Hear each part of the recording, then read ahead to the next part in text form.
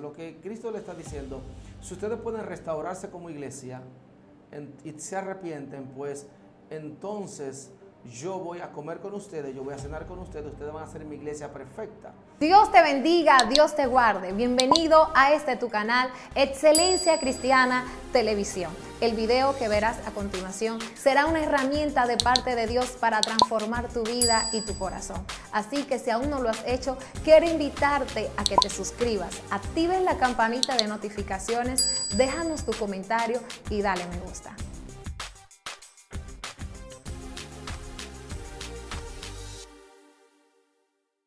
Dios te bendiga, Dios te guarde. Este es tu espacio, Excelencia Cristiana Televisión. Estamos contigo en este momento para darte una palabra de restauración y también de enseñanza. En este momento estamos continuando la serie del Apocalipsis, así que estamos en el capítulo 3 y estoy acompañado, quien va a dirigir esta enseñanza es el pastor Hamle Familia. Yo quiero que él se presente y esté saludando a la audiencia. Dios le bendiga, pastor. Amén. Dios te bendiga, Madeline. Dios bendiga a la audiencia. De verdad que nos sentimos uh, alegres, nos sentimos contentos de estar aquí y vamos a enseñar uh, o hablar de Apocalipsis. Básicamente, Amén. para mí es un gozo hablar de Apocalipsis eh, porque es un libro poco estudiado. Vamos a iniciar el capítulo 3 y estuvimos hablando, en, perdón, en videos anteriores, el capítulo 1, 2 y ahora vamos al 3. Sí. Eh, vamos entonces, aquí tenemos la iglesia de Sardi, Filadelfia y la Odisea. Vamos a tratar en este tiempo, en este video, de tratar estas tres iglesias, de hablar de, de ellas. Gloria a Dios. Vamos a iniciar con el capítulo 3, tú lo tienes ahí, vamos Así al es. versículo 1. Amén, gloria al Señor. Vamos a leer bajo la dirección del Padre, del Hijo y del Espíritu Santo. Amén. Escribe al ángel de la iglesia en Sardis, el que tiene los siete espíritus de Dios y las siete estrellas. Dice esto, yo Amén. conozco tus Sí, obras, yo conozco tus obras, que tienes nombre de que vives y estás muerto. Uf, uf. Es algo, una palabra terrible, terrible, terrible, terrible. Porque aquí Dios comienza inmediatamente, Cristo en su carta, comienza diciéndole la falta que tienen ellos. O sea, él comienza, escribe al ángel de la iglesia en Sardi, o sea, al pastor, a quien dirige en Sardi. Esta carta va dirigida a él siempre, y lo voy a hacer énfasis aquí en Sardis, porque lo hemos visto en diferentes ah, iglesias, que Dios se dirige siempre al pastor. ¿Por qué? Porque te vas a dar cuenta que Dios siempre se va a dirigir a la cabeza. O sea, Dios tiene el compromiso con la cabeza. Y cuando Cristo eh, fue apresado, la noche antes de la crucifixión, sucedió el siguiente caso. Y el caso que sucede es que Caifás profetizó. ¿Y por qué profetizó? Porque Caifás era el líder. Caifás siendo el líder, pues el sumo sacerdote profetizó entonces. Dios, y eso, que Caifás estaba en contra de Cristo, está, estaba ah, conspirando contra él para que él fuera crucificado. Aún así Dios trató con Caifás. Y en este caso, no es que los pastores están mal, sino que Dios, bueno, en un sentido está mal porque Dios le está llamando la atención, lo que no estoy hablando al nivel de Caifás, pero sí, sí, Dios le está llamando a corrección y le está escribiendo las cartas a ellos, es porque de una u otra manera ellos están tolerando algunas faltas que están sucediendo en la congregación. Entonces, el que tiene los siete espíritus de Dios es el que tiene el Espíritu Santo. Hablamos en videos anteriores de que los siete espíritus de Dios se refiere a, le- a las siete manifestaciones del Espíritu Santo que se encuentra en el libro de Isaías, capítulo 11, versículo 2. Y ahí entonces nosotros podemos ver las siete manifestaciones del Espíritu Santo. Y a eso es lo que se refiere. No es que Dios tiene siete espíritus, es un mismo espíritu, pero con siete manifestaciones. Eh, por decir algo, nosotros somos uno, yo soy Hanle Familia, tú eres Madeline, pero tú no solamente estás compuesta por tu cuerpo, tú tienes un alma también, pero sigues siendo tú. Amén. O sea, esas siete manifestaciones del Espíritu Santo no divide el Espíritu Santo en siete, sigue siendo eh, el Espíritu Un Santo. solo. Un solo Espíritu Santo. Ok. Las siete estrellas. Amén. Entonces las siete ah, estrellas son los siete líderes. Lo hablamos en el versículo 20. Así es. es que son los siete líderes. O sea, el que, y es el que tiene los siete espíritus de Dios y las siete estrellas. O sea, el que tiene dominio sobre los líderes de la iglesia, dice esto. Yo conozco tus obras de que, tú, que tiene nombre de que vives. Y estás muerto. Estás muerto. O sea, wow, es algo, es algo muy fuerte. Se siente como una espada que traspasa. Sí, o sea, es cuando lo primero que llega es te dicen, bueno, tú dices, o sea, es lo que tú dices como, como iglesia, que tú estás viva, pero tú estás muerta. Hay iglesias que están muertas, literalmente así, donde tú no le abres las puertas al Espíritu Santo, donde todo es una monotonía, entonces es una iglesia que está muerta. Eso estaba pasando con la iglesia de Sardis. La iglesia de Sardis ya, en la manera que funcionaba, era sin el Espíritu Santo como muchas iglesias funcionan hoy en día. Verso 2. Sé vigilante y afirma las otras cosas que están para morir, porque no he hallado tus obras perfectas delante de Dios. Todavía queda una pequeña luz en Sardis. O sea, aquellas cosas que están para morir. O sea, no están muertas, están en intensivo. Y aquí en este versículo dice, sé vigilante y afirma las otras cosas que están para morir. O sea, esa, todavía esas pequeñas cosas que te hacen llamar iglesia, síguelas reviviendo. Es lo que Dios le está diciendo a Sardis. El libro Apocalipsis es un libro muy, o sea, tiene símbolos, pero aquí en Sardis Dios le está hablando de manera directa, que cualquiera, hasta un niño, lo puede interpretar. Y esa, y esa muerte no está hablando de muerte física, está hablando de muerte espiritual. ¿Y quién es, quién es un muerto espiritual? Aquel que no tiene ninguna relación con el Espíritu Santo. Se ha descuidado en la oración, se ha descuidado en su ayuno, en su lectura bíblica, en ese andar con el Señor. Es una persona que, aunque esté congregándose, está muerta. Y es lo que estaba pasando con la... Y todavía se llama iglesia porque tiene algunos detalles que no se han muerto, pero Dios le dice, Cristo le dice, cuida eso que está para morir. Continuemos. Dice. Porque no ha hallado tus obras perfectas delante de Dios. Amén. Acuérdate pues de lo que has recibido y oído, y guárdalo, y arrepiéntete, pues si no velas, vendré sobre ti como ladrón, y no sabrás a qué hora vendré sobre ti. Yo, así como lo vemos en, las demás iglesias, Dios está siempre, Cristo está siempre llamando al arrepentimiento. Eh, en el caso de, de, Jezabel y de, la gente que estaba, cuando hablo de Jezabel, hablo del espíritu de Jezabel porque estamos aquí en Apocalipsis, en las iglesias, Dios siempre está llamando al arrepentimiento. Siempre, antes de, de Dios hacer algo, siempre te va a llamar al arrepentimiento. La destrucción no llega sin aviso. Nosotros lo podemos ver en Sodoma y Gomorra. O sea, eh, si Sodoma se hubiese arrepentido, pues no sucede lo que sucedió en Sodoma. O sea, cuando van a predicarle Jonás a Nínive y Nínive pues procede al arrepentimiento, todo el juicio que Dios tenía para ellos, Dios lo descarta. Eh, podemos ver que cuando Elías va a, profetizarle juicio acá, acá se arrepiente y Dios detiene el juicio. Lo que Cristo le está diciendo, si ustedes pueden restaurarse como iglesia y se arrepienten, pues entonces yo voy a comer con ustedes, yo voy a cenar con ustedes, ustedes van a ser mi iglesia perfecta. Pero esta iglesia, Dios le está diciendo, arrepiéntete. Y si no se arrepienten, hay una consecuencia. O sea, si tú te arrepientes, te, te va a librar de las consecuencias del juicio. Pero si no te arrepientes, entonces va a haber consecuencias, que lo que Cristo le está diciendo aquí. Pues si no vela, vendré sobre ti como ladrón y no sabrás a qué hora vendré. O sea, si tú no lo haces, sin velar, es voy a tomar la palabra de Cristo cuando estaba en Hexemaní, cuando Cristo le dice, velad y orad, estén atentos, estén pendientes a las cosas espirituales. O sea, vela, está atenta a las cosas espirituales, porque si no, vendré de sorpresa. O sea, ya te lo estoy avisando, la próxima vez no te lo voy a avisar. Mira, mira cómo es. Porque la Biblia dice, vendrá contra ellos, contra el mundo, destrucción repentina. Y sabe, es, Saldi está siendo avisada. Bien, te, mando la carta, te digo que está mal, te digo que está muerta. A ti es llamado, si hay un arrepentimiento, bien. Si no sucede el arrepentimiento, no hay un nuevo aviso.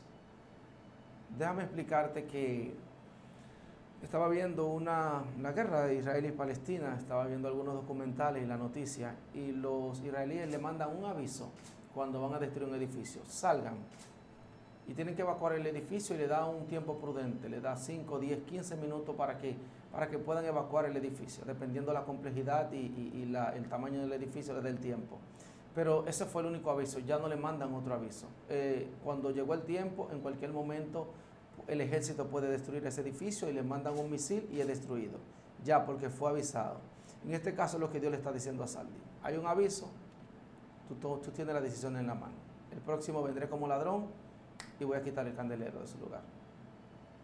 Continuamos entonces con el versículo 4. Pero tienes unas pocas personas en Sardis que no han manchado sus vestiduras y andarán conmigo en vestiduras blancas porque son dignas. Siempre Dios tiene un remanente. Siempre va a suceder así. Siempre va a haber un remanente. Y Dios va a tomar su remanente y lo va a proteger.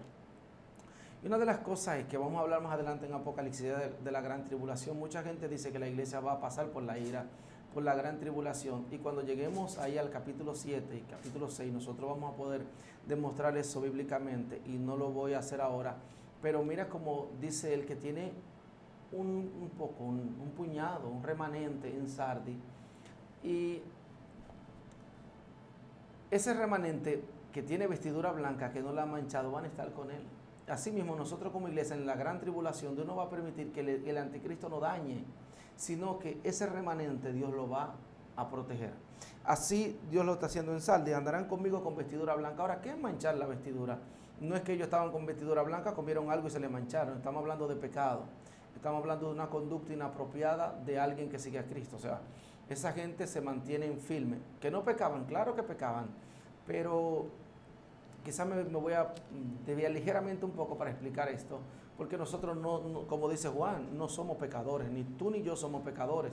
Y la gente dirá, pero ¿cómo que no somos pecadores si ustedes a diario por su condición humana fallan y pecan. Bueno, lo que pasa es que nosotros no somos pecadores porque no practicamos el pecado. Podemos pecar por hierro, a veces por ignorancia o por nuestra naturaleza, pero no somos dados al pecado, no nos gozamos con el pecado. Y ahí es donde Juan dice que no somos pecadores. En ese sentido es donde Cristo dice, ellos tienen su vestidura blanca, porque aunque todos los que están en Saldis reconocieron el sacrificio de Cristo, que es lo que te hace la ropa blanca, son gente que no son dadas al pecado, y son gente que todavía no está muerta, tienen su vestidura blanca. Siempre hay un remanente y este remanente está en Sardis. El que venciere será vestido de vestiduras blancas y no borraré su nombre del libro de la vida y confesaré su nombre delante de mi Padre y delante de sus ángeles. Entonces, como en Sardis la gente tiene su ropa manchada, está eh, pues sucia su ropa, Dios le va a dar vestiduras blancas. el regalo que le va a dar es, le voy a poner vestidura resplandeciente. Ese, es lo seco. ¿Qué quiere decir la, vestidura blanca? La pureza. Alguien que se mantuvo íntegro en una iglesia que estaba muerta. Lo va a reconocer. Ah, pero a quién? A todos no, a ese pequeño y grupo. Y el nombre no lo va a borrar del libro de la vida. ¿Sabe lo que está diciendo? Que va a haber entrada y que tu nombre, el nombre de alguien que peca y que daña su vestidura puede ser borrado del libro de la vida. O sea, hay gente que dicen salvo siempre salvo y, y, se llama eso expiación limitada. Y, y, aquí la Biblia nos está diciendo que el nombre puede ser borrado del libro de la vida. O sea, si tú puedes irte a Apocalipsis capítulo 20, versículo 15. Aquí un poco difícil buscarlo. Apocalipsis 20, 15. 20, 15. Y el que no se halló inscrito en el libro de la vida fue lanzado al lago de fuego. El que no se halló inscrito. O sea, para la salvación va a requerir que obligatoriamente tú estés inscrito en ese libro. Así es. Si te buscaron y no te encontraron ahí, bueno, hay problema. hay problema, tú puedes decir, ah, yo me llamo Juan Pérez, con disculpa lo que se llama Juan Pérez. Bueno, te buscan ahí si no te encuentran. Tú, bueno, hay muchos Juan Pérez, pero ese no eres tú el que está ahí. Y no te toca salvación. Entonces, lo, lo que Cristo le está diciendo a los que van a vencer en Sardis que le va a dar vestidura blanca y que su nombre va a estar inscrito en el libro de la vida constantemente. Eh, y el verso 6 dice esto. En la parte, y confesaré sus nombres delante de mi Padre y delante de sus ángeles. O sea, es el, el contraste con aquellos, eh, eso en contraste con aquellos que Cristo le va a decir, lo que, lo que han pecado, aquellos quienes sus vestiduras han sido manchadas, dice cuando le digan a Cristo, óyeme, en tu nombre profetizábamos, en tu nombre echábamos fuera demonios, yo no sé quiénes son ustedes, yo no lo conozco. Lo que Cristo está haciendo el contraste a la iglesia de Salde le está diciendo, a ustedes sí yo lo conozco, yo lo, voy a, yo lo voy a reconocer delante de mi Padre, voy a decir, esos son míos, yo los redimí y morí por ellos. Y, estamos todos en la congregación, pero va gente que está en la congregación, sentándose en, en el templo, junto contigo, adorando junto contigo, que Dios no lo va a reconocer. Y, y va a decir, pero yo me sentaba al lado de Madeleine. No, yo no sé quién tú eres. Y Madeleine, sí, esa le va a decir al Padre, yo la, te voy a confesar delante de mi Padre. Amén, amén. Poderoso. Puse el ejemplo contigo, ¿verdad? Buen ejemplo. Buen ejemplo, gracias, Pastor. dice, el que tiene oído, oiga lo que el Espíritu dice a la iglesia. Amén. Entonces, aquí está en plural, en todas. Lo que el Espíritu dice a las iglesias, porque cada promesa de esa no son para una iglesia específica, son para todas las iglesias. Al que venciere, no solamente a Sardis le van a dar ropa blanca. A Casa de Paz, a todos los que estamos allá nos van a dar ropa blanca. Amén. El mensaje a Filadelfia. Bueno, ya concluimos, pero vamos a ir un poquito más al paso para que la audiencia dice, oh, pero ya terminamos en Sardis. Sí, ah, hemos concluido la iglesia de Sardis.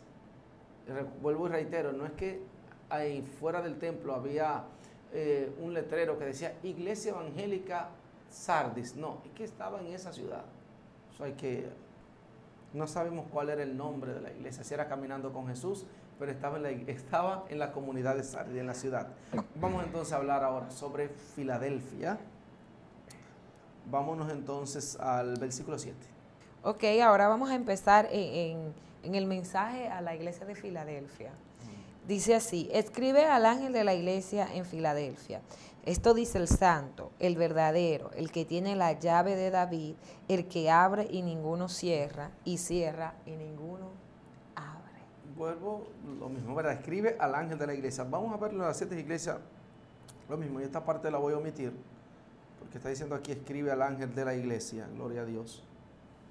Y dice, esto dice el santo el verdadero. Recuerda que siempre Él se está presentando como de lo que va a hablar.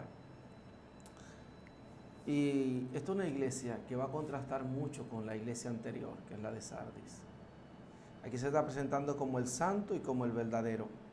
Y eso es fácil de poder interpretar, el santo y el verdadero. Sabemos que eh, Él es el amén. Eh, sí, el amén. Así que yo creo que explicarlo, pues hasta el imberbe, el, niño lo entiende, que Cristo es el santo y el verdadero. Pero vamos a, la próxima parte que dice que el que tiene la llave de David, el que abre y ninguno cierra, y cierra y ninguno abre. tremendo. O sea, ¿cómo es que el que tiene la llave de David? ¿Qué llave es esa, la llave de David? Santo. Y eso es poderoso. Vamos a hablar de qué tipo de llave es esa. Y te voy antes de darte la cita bíblica. Los tesoreros o sea, nosotros ahora tenemos en, el, los, países tienen su banco central y es donde está todo el dinero de, de, los países. O sea, quien maneja la finanza del país es el Banco Central. Ahora nosotros tenemos aquí en República Dominicana un sistema de república. Tenemos presidente, o sea, no tenemos monarquía, no tenemos reyes. Pero en Israel sí habían reyes y los reyes tenían su encargado del Banco Central, o sea, sus tesoreros, la gente que que podía guardar el tesoro de ellos. Y eso estaba bien guardado. Eso estaba con una llave. Y esa llave, el único que podía entrar y salir era el tesorero. O sea, eso no era una puerta que la podía abrir cualquiera, porque ahí estaba la economía de la nación. O sea, estaba el oro, estaba, estaban los, las cosas valiosas. yo te puedo decir cuando Nabucodonosor tomó lo, del templo, lo preciado de, del templo, se lo llevó y lo guardó en su tesoro allá en Babilonia. Entonces los reyes comúnmente hacían, eh, y había que hacerlo porque tú tenías que tener algún tipo de lugar de donde tú tener la finanza para sustentar el reino. Entonces, para eso había un tesorero. ¿Y dónde nos vamos a dar cuenta de a qué se refiere la llave de David? Yo te voy a dar la cita y voy a continuar hablando de que, a qué se refiere. Ya eso es lo que te dije, te da una idea. Te da una idea de por dónde va, va la línea. Y recuérdate que David era un rey y tenían la llave de David. Cristo tiene la llave de David. Y eh, vamos a ir al libro de Isaías, capítulo 22, versículo 15. Solo vamos a leer el versículo 15 y de ahí vamos a irnos hasta el versículo 22. Pero primero leamos el 15. Isaías. Había un Isaías 22, 15. Había un tesorero llamado Sebna. Sí. Vamos a leer. 22, 15. Dice, Jehová de los ejércitos dice así, ve, entra a este tesoro, a Sebna, el mayordomo, y dile, ¿qué tienes tú? no, léelo de nuevo el 15, por favor. Jehová de los ejércitos dice así, ve, entra a este tesorero, a Sebna, el mayordomo, y dile. Claro, entonces, ve, entra a Sebna, este tesorero. Sebna era el tesorero, el hombre que tenía la llave. Ahora, vete al versículo 22. Dice, y, y pondré la llave de la casa de David sobre su hombro, y abrirá, y nadie cerrará, cerrará, y nadie abrirá. Ahí está hablando la llave de David. Ahora, lo que pasa es que Semna, Semna era quien tenía la llave, y Semna iba a ser sustituido por Eliakim. Vamos a, un versículo anterior, que es, o a unos versículos anteriores, que es el 20, para que podamos interpretarlo mejor. En aquel día llamaré a mi siervo Eliaquín, hijo de Ilcia, y lo vestiré de tus vestiduras, y lo ceñiré de tus talabarte, y te entregaré en sus manos tu potestad, y será padre al morador de Jerusalén, y a la casa de Lo que le está diciendo a Sedna, o sea, esa autoridad que tú tienes, te van, porque, porque Sedna no estaba haciendo su función correcta como tesorero, te vamos a quitar esa llave como tesorero y se la vamos a pasar a él. ¿Y aquí ahora cuál llave? La llave de David.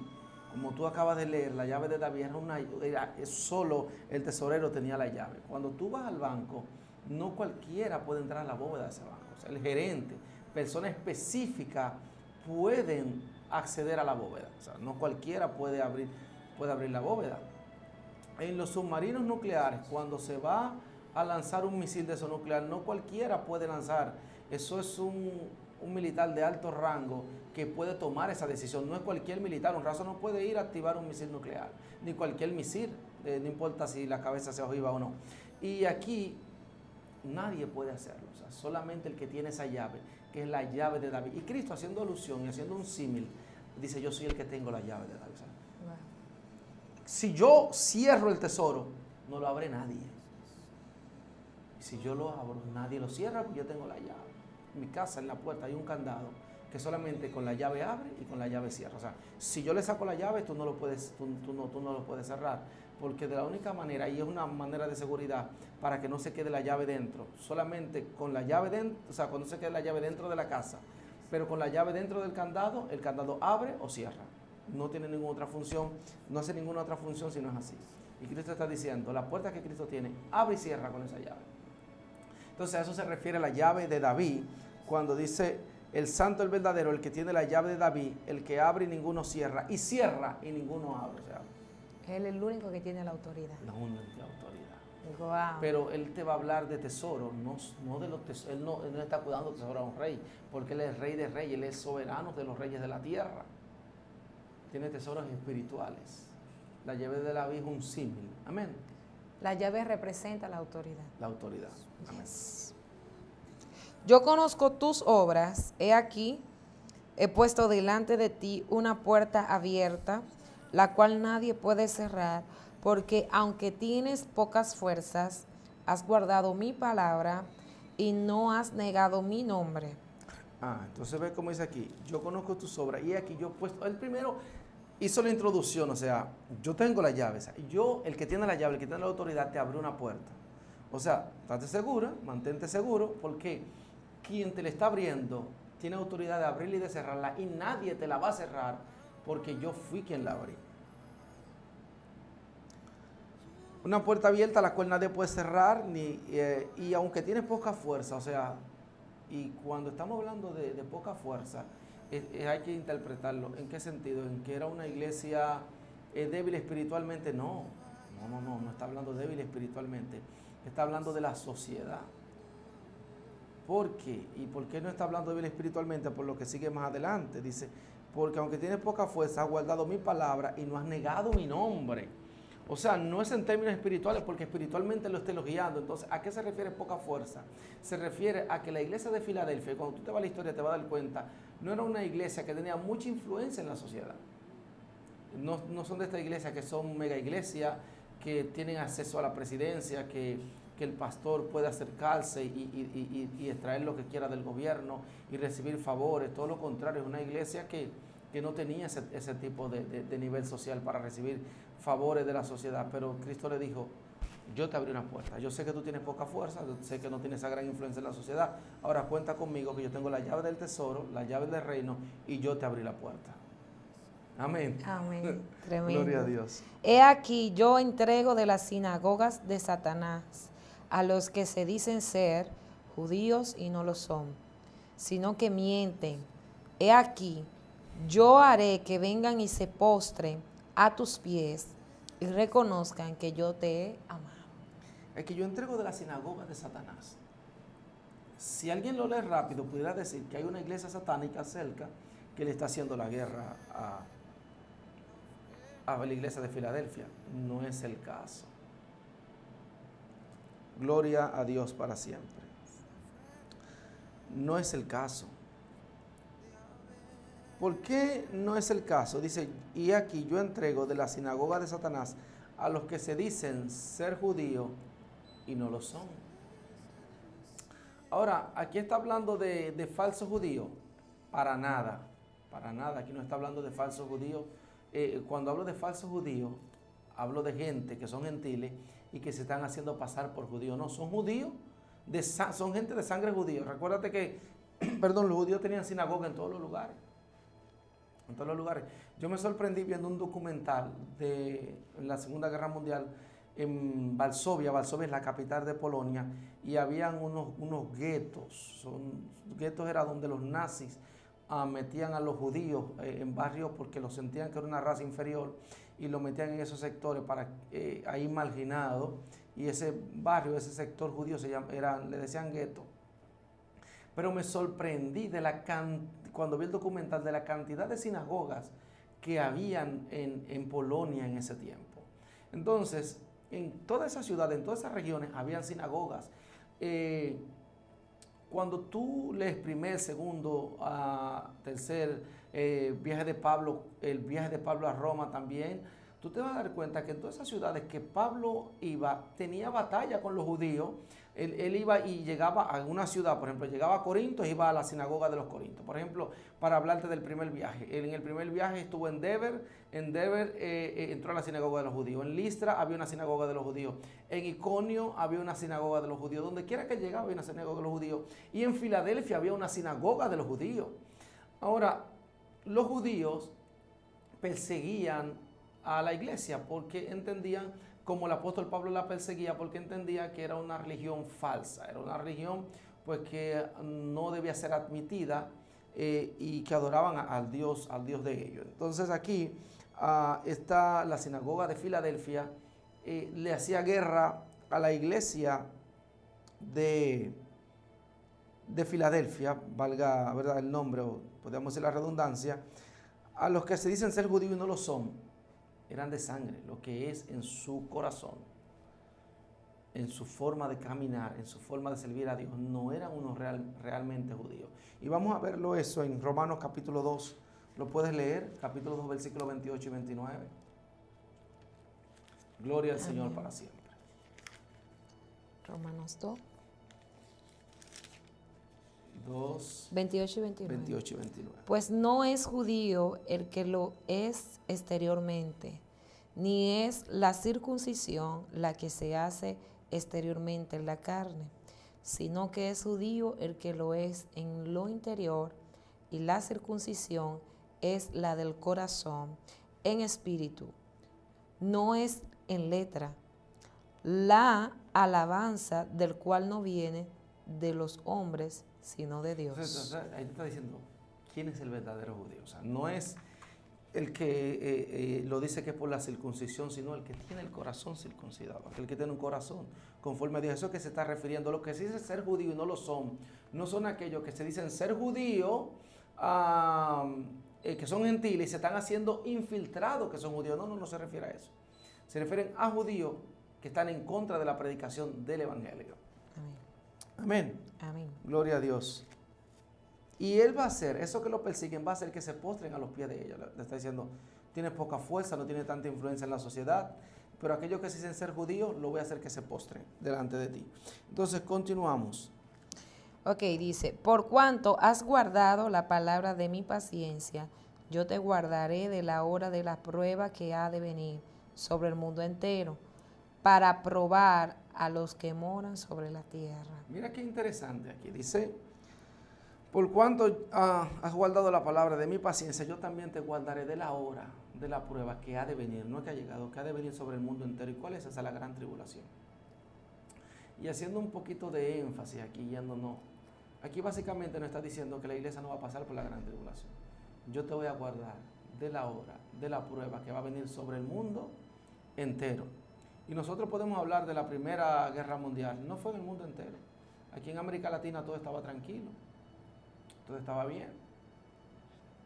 Fue una guerra que, comenzó en Europa. Cuando un archiduque de, Hungría, pues, eh, lo mataron.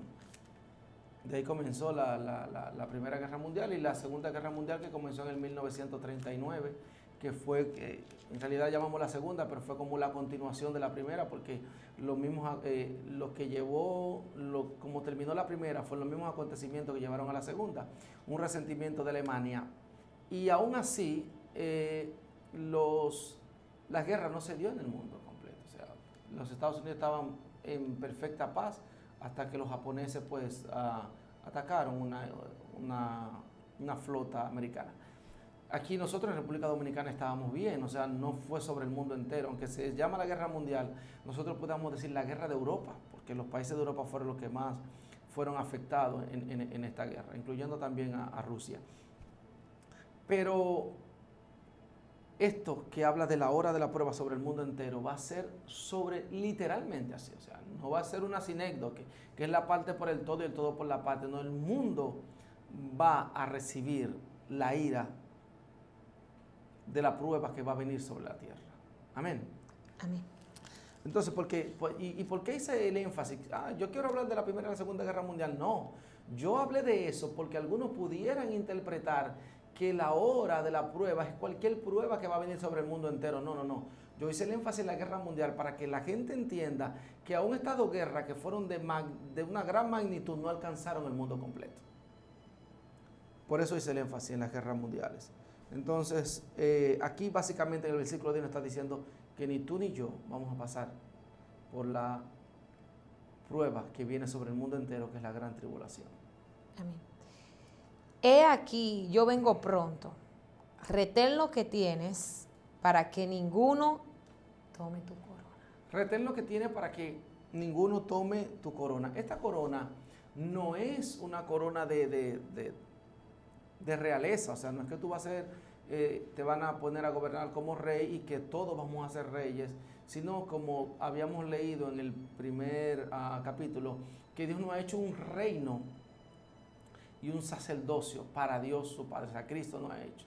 Nos ha hecho. Entonces una corona, que es una corona de victoria, es como una, cuando te dan una medalla, cuando tú tienes una medalla, esa medalla es porque tú ganaste una carrera o tuviste alguna victoria. Eh, cuando en los Juegos Olímpicos, en los Juegos Olímpicos, cuando alguien es, eh, gana una competencia, no solamente le dan la medalla, también le ponen una corona y es porque ha sido vencedor. La Biblia, la Biblia compara mucho lo que es el cristiano con atleta. Pablo, Pablo lo, lo, compara con atleta. O sea, estamos corriendo esta carrera, vamos a recibir el premio. Siempre Pablo está haciendo alusión a lo que es los deportes con lo que es eh, eh, el caminar del, cristiano. Amén. Eh, el, que también con el soldado que no, se envuelve en, en la- en las cosas de, el, que, es llamado como soldado no se envuelve en las cosas de la vida para agradar a quien el que lo llamó por soldado y, siempre hace símil, hace comparación, hace metáfora para que el cristiano pues pueda ser ilustrado. Aquí lo que está diciendo es que así como los deportistas ah, recibían coronas, nosotros también vamos a recibir coronas. La- claro, la recibían de laurel eh, o, o de olivo, pero ah, la corona no es eh, que tú eres un rey, sino que tú eres el vencedor en esa competencia. Y nosotros somos vencedores en la competencia del camino a la salvación, como dice ah, Juan el Bautista. Amén, amén, gloria al Señor. Dice en el capítulo 3, versículo 13, ¿verdad? No, eh, vamos al 12. Ah, ok. Al que venciere yo lo haré columna en el templo de mi Dios, y nunca más saldrá de allí. Y escribiré sobre él el nombre de mi Dios y el nombre de la ciudad de mi Dios, la nueva Jerusalén, la cual desciende del cielo de mi Dios, y mi nombre nuevo. Amén. Amén. Ok. Entonces comenzamos aquí. Al que venciere, yo le haré columna en el templo de mi Dios. Nosotros sabemos, ¿verdad? Que, y tenemos e- esa jerga entre nosotros los cristianos, y porque también la Biblia nos lo enseña. Cuando alguien es columna de la iglesia, no es que es no es que alguien que es de concreto y varilla, ¿verdad que no? Nosotros sabemos que columna es alguien pues que, que tiene cierta madurez en la iglesia, que aporta para la iglesia, tanto en lo espiritual y en otras áreas. Eso es una columna, así que nosotros no podemos pensar que nosotros vamos a ser transformados en un concreto en el cielo y nos vamos a quedar ahí fijos porque somos una columna. Lo otro es que aquí dice algo muy interesante, que nunca más saldrá de ahí, o sea, me van a voy a estar preso en el templo. O sea, Dios tiene un templo, pero aquí dice, eh, y nunca más saldré de allí, o sea, nunca más voy a salir del templo, o sea, yo voy a disfrutar de la Nueva Jerusalén y a los que estamos en Filadelfia entonces nos van a trancar en un templo que nunca más saldremos, y nos- o sea, es una liberación, o sea, es un gozo es que estoy en una cárcel. Pero vamos a ver qué es lo que quiere decir la Biblia. Vámonos al Apocalipsis capítulo 22, 21, perdón, versículo 22. Dice así, y no vi en ella templo, porque el Señor Dios Todopoderoso es el templo de ella. Oh, no había templo. Y si no había templo en la ciudad, ¿cómo es que está diciendo? Habrá una contradicción bíblica, porque aquí dice que Él no va a ser columna permanente en el templo y ahora el mismo que escribe esto está diciendo que no hay templo. ¿Cuál- ¿Cuál es la situación? Lo que pasa es que el templo va a ser la presencia de Dios. O sea, vuelve y lees el mismo versículo. Gloria a Dios. El, el Al que 21, vencie, 22. al que ven- No, no, 21, 22. las doce puertas eran No. 21-22. Ay, pero. Ok. eh, sí, vamos a leerlo Y no vi en ella sí. templo, porque el, el Señor Dios Todopoderoso es el templo de ella y el Cordero. Ah, el Cordero y Dios son el templo de la ciudad. Son el templo. Entonces, ¿sabes lo que está diciendo cuando yo voy a hacer columna y que nunca, y que siempre voy a habitar en el templo? Siempre voy a habitar en la presencia de Dios. Constante. O sea, la promesa que está haciendo aquí es una promesa poderosa. Tú vas a ser columna y vas a habitar en el templo de Dios, o sea, la presencia de Dios. Hay veces que nosotros decimos, wow, estamos en un culto o estamos en la calle, quizás no siento la presencia de Dios o a veces sí, pero ahí va a ser constantemente y nunca va a salir de esa presencia. Amén. Gloria a Dios. Versículo 13. El que tiene oído, oiga lo que el Espíritu de Dios dice a las iglesias. a las iglesias, o sea, no solamente para Filadelfia. Eh, se escribe a Filadelfia, pero es para todos. Amén. Amén. Vamos entonces al- a la iglesia de la Odisea, que vamos en este video a abarcar, ah, como hablamos, Sardis, Filadelfia y la Odisea. Amén. Entramos en la parte de, de la Odisea. dice. ¿Cómo no? Y escribe al ángel de la iglesia en la Odisea. He aquí el amén, el testigo fiel y verdadero, el principio de la creación de Dios. Dice esto. Aquí, aquí va a entrar bien fuerte, como le entró a, a Sardis. Ay, ay, ay. O sea, escribe el ángel de la iglesia, eso ya lo hemos repetido en este video a qué se refiere, el amén. Cuando habla del amén, la palabra amén, así sea, pero también es verdadero. La palabra amén es, eso es verdadero. Cuando está diciendo yo soy el amén, yo soy el verdadero, en mí no hay mentira. Y lo va, lo va a seguir recalcando. El testigo fiel, el verdadero. El principio de la creación dice eso. O sea, quien va a hablar, quien eh, le está escribiendo la carta a la iglesia de la Odisea, tiene conocimiento de causa, es verdadero, es fiel y tiene la capacidad de reprender a la iglesia de la Odisea. Me gusta la iglesia de la Odisea porque contrasta con la iglesia de Sari en cuanto a, me gusta en el sentido teológico, no en el sentido de que era una iglesia fría, perdón, tibia. Vamos al próximo versículo. Dice, yo conozco tus obras, que ni eres frío ni caliente. Ojalá fueses frío o caliente. Una iglesia que tú no sabías lo que era. O sea, es que una iglesia que tú la ves y tú dices, pero es, una iglesia que es del mundo, o es, una iglesia cristiana. Y una, una, gente eh, tibia. Nosotros no podemos verlo nada más en el, en, el, en el, algor como nosotros lo tenemos quizá aquí. Nosotros tenemos un lenguaje, eh, por ejemplo aquí en Dominicana básicamente, y también en América Latina, alguien frío es alguien que está dentro de la iglesia pero que no está orando mucho, está frío Y, pero básicamente, aquí alguien que está frío en este contexto es, alguien que, está en el mundo, básicamente. No podemos extrapolarlo al concepto que nosotros tenemos eh, de frío en el lenguaje de nosotros llano. Te voy a explicar por qué no se puede tomar así. Ah, porque la, depende de la sociedad y dependiendo de la helga, nosotros decimos cosas. En la helga cristiana actual, cuando alguien está frío, es alguien que está en la iglesia, es parte de la iglesia, pero que también le dan oportunidades, pero que no está activo. No está tan activo así. Y, pero sin embargo, alguien que está caliente, alguien que está bien en la iglesia. Cuando tú sales con ese mismo concepto al mundo, tú te vas a dar cuenta que en el mundo es al revés. El que está caliente es alguien que está en peligro y el que está mal, o sea, está caliente con el jefe, tú te vas a dar cuenta que en el algor del mundo es contrario a como está en el algor de la iglesia. Entonces, por eso no podemos tomar una helga y traerla por los moños y traerla aquí. Lo que Dios está llamando, lo que está diciendo es aquellos que son o realmente cristianos o que no son cristianos. Entonces, eh, yo he conocido personas que van a la iglesia pero solamente son cristianos dentro de la iglesia.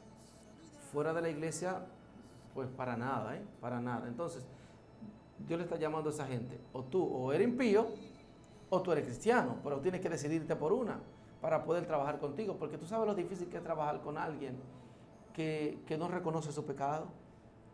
Alguien que, porque el impío te dice, yo estoy mal, o sea, y, necesito a Cristo. Sin embargo, el, el, que tiene un pie dentro y otro afuera, te va a decir que él tiene a Cristo pero realmente en su caminar y en su andar no tiene a Cristo. O sea, como dicen ustedes la gente que tiene psicología, para tú trabajar con alguien, para tú trabajar con alguien que no reconoce su problema es bien difícil. Así que, por cuanto eres tibio, dice el verso 16, te lo voy a leer por ti, por cuanto eres tibio y no frío ni caliente, te vomitaré de mi boca. O sea, no me agrada ah, en la manera, tu condición espiritual no me agrada. Vamos al versículo 17. Porque tú dices, yo soy rico y me he enriquecido y de ninguna cosa tengo necesidad. Y no sabes que tú eres un desventurado, miserable, pobre, ciego y desnudo. Mira el contraste. Yo creo que nosotros, le, tú también leas para hacer el contraste con el versículo 9 del capítulo 2. Para hacer un contraste. Ok. Yo conozco tus obras y tu tribulación y tu pobreza, pero tú eres rico y la blasfemia de los que se dicen ser judíos y no lo son, sino sinagoga de Satanás. O sea, a Esmirna, que económicamente es una iglesia pobre, le está diciendo, tú eres una iglesia rica. Rica. Rica, pero, pero no tenía nada en el banco, financieramente no era una iglesia rica. Ahora, la iglesia de la Odisea se jactaba de ser una iglesia de gente pudiente, de rica. Y si nosotros lo, podemos extrapolar ahora, me gusta mucho en la Biblia, no solamente quedarme allá atrás, y en los mensajes cuando predico, me gusta la enseñanza de allá, traerla para acá. Es una iglesia que la gente va en Porsche, Mercedes-Benz, en, esos carros de, alta gama. Dice, no, nosotros estamos bien porque, sabes que hay muchas iglesias que porque eh, eh, son, entienden que son de reino por su posición económica. O sea, si tú eres pobre, tú no eres de reino. Y aquí Cristo está enseñando lo contrario. La iglesia que era de reino es Mirna, pero económicamente era pobre. Y la iglesia que no es de reino, ahora eso no quiere decir que es una iglesia es económicamente eh, grande y, se congregan pues personas adineradas ya, no quiere decir que es una iglesia que está mal. Lo que tú no puedes relacionar la, tu condición espiritual con tu condición económica, no, no tiene que relacionarlo, porque no va una, una cosa con otra. Entonces aquí nosotros estamos viendo lo dice económicamente bien, pero él está diciendo, como acaba de leer, eh, me he enriquecido y de ninguna cosa tengo necesidad y no sabe que tú eres un desventurado, miserable, pobre, ciego y desnudo. O sea, te está creyendo una cosa, pero yo veo otra. Versículo 18. Dice así. Por tanto, yo te aconsejo que de mí compres oro refinado en fuego, para que seas rico, y vestiduras blancas para vestirte, y que no se descubra la vergüenza de tu desnudez y unge tus ojos con colirio para que veas. O sea, tú necesitas ser rico, no el oro que tú tienes, compra oro de mí, refinado en fuego. O sea, le está haciendo un contraste, el verdadero rico, y le digo a aquellas personas, ¿verdad?, que entienden que son de reino porque, porque bueno, compraron un Mercedes-Benz, porque pudieron, alguien ya tienen un atajo de andar a pie y ya son de reino. No, tú eres de reino.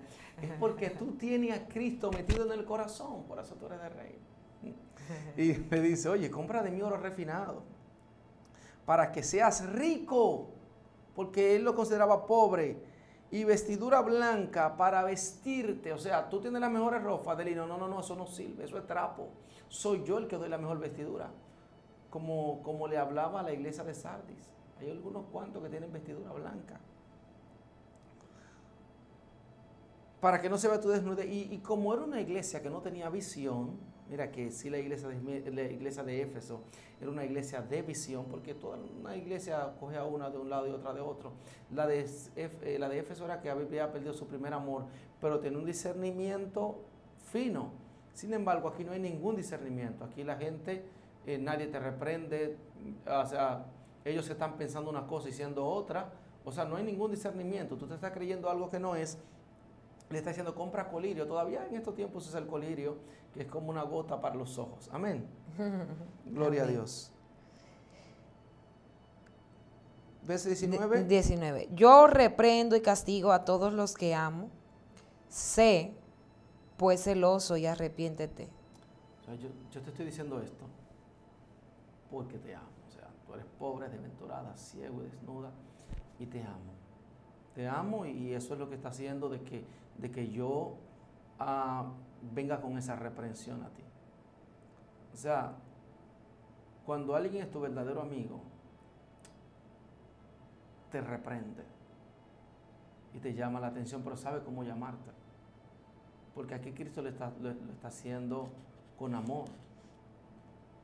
Porque hay gente que, te reprende, pero la intención de ellos es avergonzarte, ridiculizarte delante de los demás. Y te están diciendo de verdad, te están llamando la atención con un defecto, pero en la manera que están, lo están haciendo, toda la intención de ellos es hacerte quedar mal, verte como, como de manera ridícula. Sin embargo, Cristo no está haciendo esto aquí. Cristo le está diciendo, yo reprendo y lo hago así porque te amo. Amén. Amén. Al que venciere. No, verso 20. He aquí yo estoy a la puerta y llamo. Si alguno oye mi voz y abre la puerta, entraré a él y cenaré con él y él conmigo. O sea, siempre ahí está la misericordia de Dios, como hablamos al principio. Tú vas a ver en las siete iglesias, Dios siempre tocando, diciendo, ah, ábranme, hagan lo que yo digo y vamos a cenar juntos. O sea, ustedes son pobres, desventurados, ciegos y desnudos. Ábranme la puerta, déjenme entrar y van a cenar conmigo. Eso es lo que Cristo le está diciendo. Continuemos. Añadiéndole un poquito a eso, pastor, eh, estuve leyendo un comentario de un escritor, algo extra bíblico, que decía que cuando alguien iba a la casa a tocar, tenía que ser alguien de intimidad, alguien con que ya se había ten- Relacionado. relacionado. Y obviamente nosotros tenemos, no vamos a hacer una visita, ser cierto que nos esté haciendo un censo. O tocar la puerta de alguien y más si es de noche. Tiene que haber algún tipo de, Algún tipo de relación. de Ah, relación. Entonces, también puede eh, esta parte añadírsele de que Dios está demandando que la iglesia vuelva a la intimidad con el Amén, Señor. así es. Y le está tocando la puerta, gloria a Dios. Y Amén. alguien que, que nos conoce está tocando la puerta. Amén, así es, dice. Al que venciere, le daré que se siente conmigo en mi trono, así como yo he vencido y me he sentado con mi Padre en su trono. Ah. O sea, él le va a dar la oportunidad de que en el trono tú te sientes con él, esté en el lugar de majestad. O sea, es un rey, pero es un rey asequible. O sea, no es como un rey que tenemos los súditos, por ejemplo, que tiene sus súditos y los súditos no se pueden ni siquiera acercar al palacio.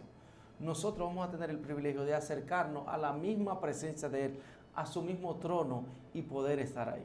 O sea, tenemos una puerta abierta con él, al que venciere.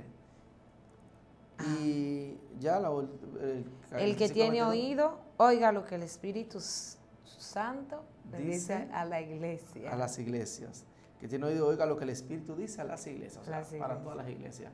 Bueno, pues yo creo que hasta aquí hemos concluido estas tres Eh, iglesias. En el capítulo 3. Bueno, excelente, pastor. Eh, yo creo que la gente y nosotros que estamos aquí hemos sido alimentados con el buen maná, una palabra fresca, una palabra revelada, la revelación del capítulo 3, versículo, Amén. versículo por versículo eh, del Apocalipsis. Así que nada, le invitamos a que sigan la secuencia. Yo sé que cuando ustedes identifiquen la, la cara de este hombre de Dios, podrán ver, bueno, el pastor del Apocalipsis. Luego que terminemos el Apocalipsis, estamos planificando iniciar con otra serie, así que necesitamos el apoyo de la gente linda, vaya, comparta esta palabra, invite a otro, eh, que el público que consume esto, que se identifica con esto, se pueda despertar y sentir de que realmente la palabra de Dios le está bendiciendo. Créame que esto no solamente le va a ayudar en conocimiento, sino para estar alerta, tocante a las revelaciones que están ahí para el futuro, que casi están por, por manifestarse. Gloria al Señor. Pastor, haga una oración a favor de la audiencia. Amén. y de gloria nosotros que estamos aquí también. Amén. Vamos a orar. Señor Dios de poder, Dios de gloria, gracias, mi Cristo. Gracias porque nos permitiste en este tiempo hablar de tu palabra, específicamente el libro de Apocalipsis, Dios. Te pido, Dios, que tú abres el intelecto, Dios, aquellos que siempre han tenido el Apocalipsis como algo difícil, mi Dios. Dios mío, abre su entendimiento, Dios, para que la palabra sana, Dios mío, la palabra sin mancha, pueda penetrar en sus corazones. También te pido, Dios, por los que están aquí, por los programadores, Dios mío, por los conductores. Síguele dando la sabiduría en tu nombre, mi Dios. Amén y amén. Te pido por mi vida, Dios, para que me siga permitiendo día tras día poder grabar estas enseñanzas de Apocalipsis, porque lo recibo de ti, Dios. Así que sigue poniendo más de mí, más de ti en mí, Dios, para poder dar. En el nombre de Jesús. Amén y amén. Amén, amén. Bendecimos su vida y honramos su vida, pastor, de manera extraordinaria. Esper- Esperamos y anhelamos que el se- sea ensanchado el sitio de su cabaña. Gloria al Señor. También bendecimos la vida de la gente linda que está ahí siendo parte de esta gran familia de Excelencia Cristiana Televisión. Le invitamos que si aún usted no se ha hecho parte, suscríbase, active la campanita de notificaciones y si el video fue de edificación para su vida, dele me gusta. Dios le bendiga y esto será hasta una próxima. Estuvo contigo tu hermana y amiga Madeline Ortiz y también, Hanle familia. amén. Dios le bendiga y Dios le guarde. Shalom.